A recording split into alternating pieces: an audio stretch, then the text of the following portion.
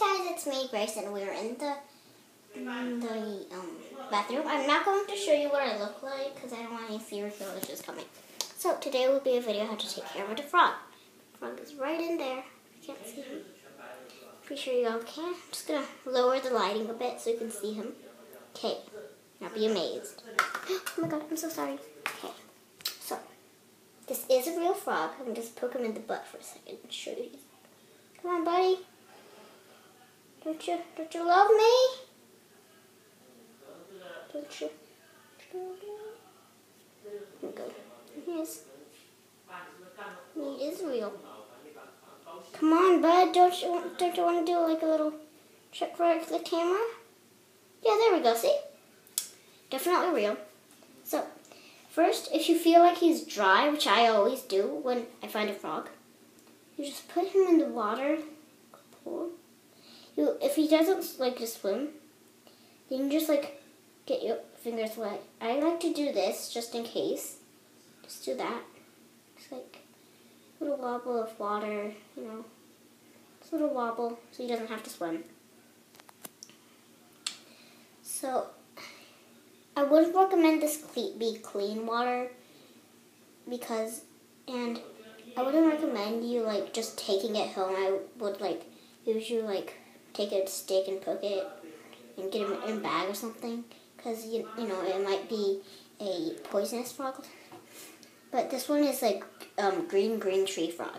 I had a gray gray tree frog, but my friend lost it. But it's okay. So you just put it, there we go, to get like rid of some bacteria it might have had. Okay. So you do not want to dry him off. If you have like a container like me, I just I just have this little thing just in case I have to go get something for him. Okay. Okay. See him in there? So I'm just gonna go let him dry and wash out my hands. Just have this little cloth hanger. Okay. I have this little cloth with me. I'm gonna put it back. There we go. Okay. There's a pine cone. Because I'm not sure if you guys can see. I'm gonna go I'm gonna see if we have a flashlight. Oh the light's still on. Oh, that's bad. Do not look at my address. But right over there, I'm not sure you guys can see.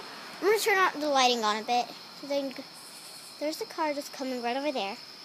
That is our bus stop. I'm not sure you can see it, but there's like a little black outline. And that's where my bus stop is. And there and there's like yeah, three dogs. One's named Oisa, and my friend owns him, my BFF. And then there's another dog named Fern, her and um Maddie. Maddie owns her. I will, I won't tell you her definitions or like where she lives because I just come and see her address and just you know but we do live in Ellicott City, and just about everybody that watches this video would be in Ellicott City. Oh my god, I'm gonna hide behind the camera. Yeah, you guys can see. I obviously have hair. Oh my god, it's too light. I'm sorry. I really wanted you guys to see that. But anyways, so yeah. So let's check how my frog is doing. Um, there's also, um, what is it, Coco? And she that's why that acorn's there. Coco likes acorns. Anyways, let's see how you're doing. I'm the only one in the neighborhood that, who doesn't have a dog. I'm going to light it up a bit so you can see. Can you see my froggy?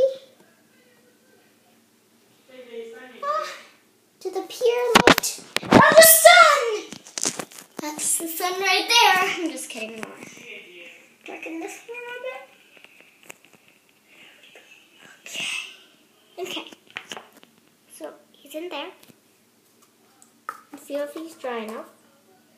Yep, he is. Now come on. Oh, come on, buddy. Okay.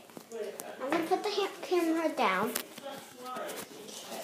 so you can get a good view of this.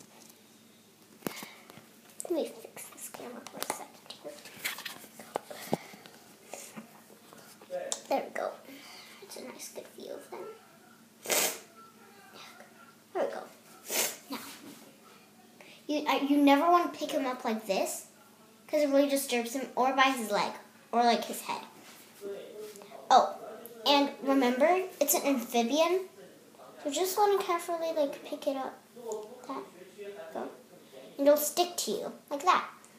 And it is an amphibian, which means it's a reptile, and all reptiles are cold-blooded. So you need to make sure your temperature is perfect, around like 70 or 60, probably like 64 or something. You can't ever put it in the freezer and just leave it for a second, because still, they are cold-blooded. If you don't know what that means, that means the temperature is around its is its body heat. So if you put it in a freezer just for a little while, it'll still probably. Hey, come back here. Sorry, got on the side of the counter. And if you want to catch like a wild one, come back here.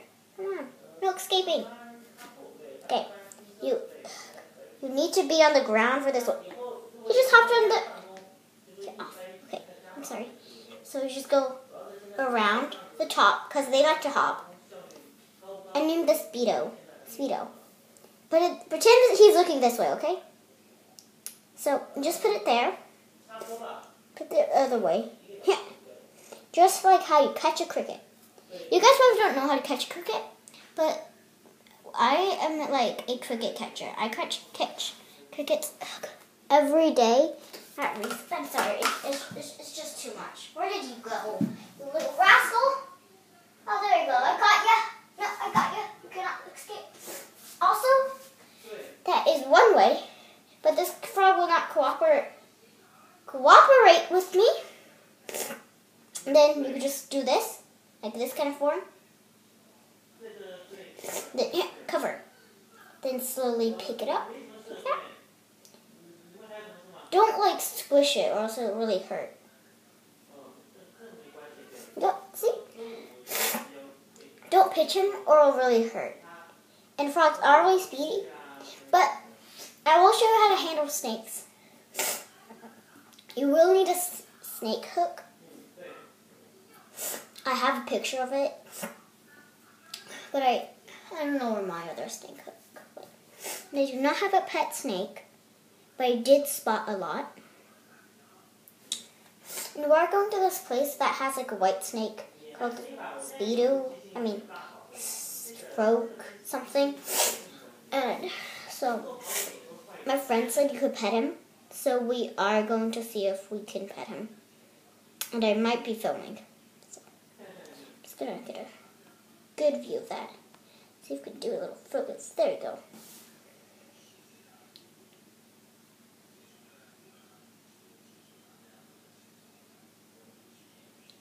focus on the so really beautiful.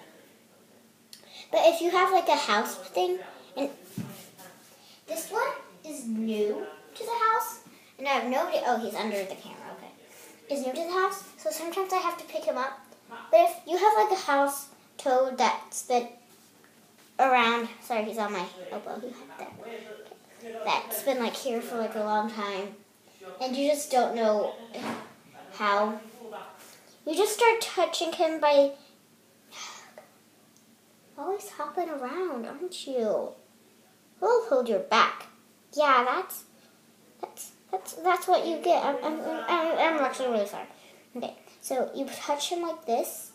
You need to cooperate, okay? Touch him on the back, and you don't want to like apply too much pressure. Just softly press him. And if it doesn't do anything, then keep on doing it. And if he gets used to you, then you can basically just train him to get on your hand.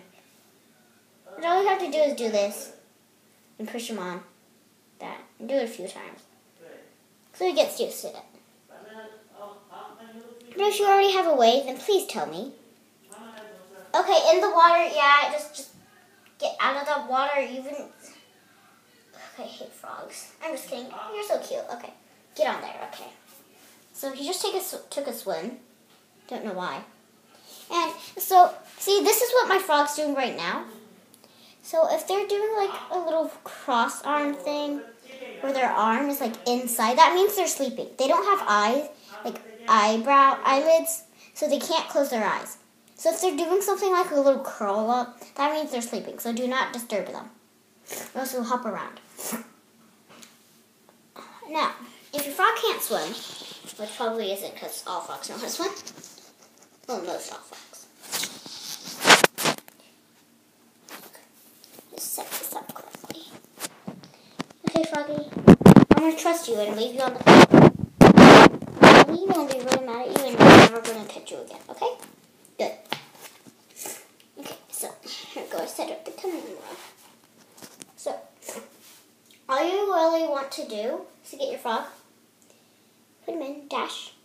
After already knows, want to kind of, because he sticks. He Frogs are supposed to be sticky. If they aren't, then there's something wrong. You should go to the vet or something. Or just dive in some water, then take it out and let it dry. And you'll get a saliva. So you just, it will probably stick. You can't, it won't like entirely stick. But it'll get like a bit sticky and kind of stick there. Just a bit. Not a lot. But like, then you hold it and if it sinks, you like use your pinky. Just use your pinky. Or also be like, oh, it's okay, I have a foot, I won't even try. Okay? Eventually, you can't just do this one thing. So, you can't just do this one thing. Of course, of course, frogs don't really like to swim. So it's okay if you don't want him to learn how to swim, but, you know, a lot of frogs do. So if you really want him to do it, then I have no problem. Now, if you don't want your frog to like swim or anything, or you just um, do not like just turn this on and just put him there for a second. That will really like apply pressure on him, which makes it really hard and you know it just feels really uncomfortable. Oh, this this is cold. Oh, I'm sorry. So make sure it's like warmish. My water is super cold. That's why he doesn't like it. I'm so sorry. I didn't know that. I'm so sorry. I'm a cold person. I like the cold, so I didn't know. Okay. Just, I'm not going to use my frog now because I just think he doesn't really like it then. So I'm going to get my paper thing and let him dry off. You guys can watch him.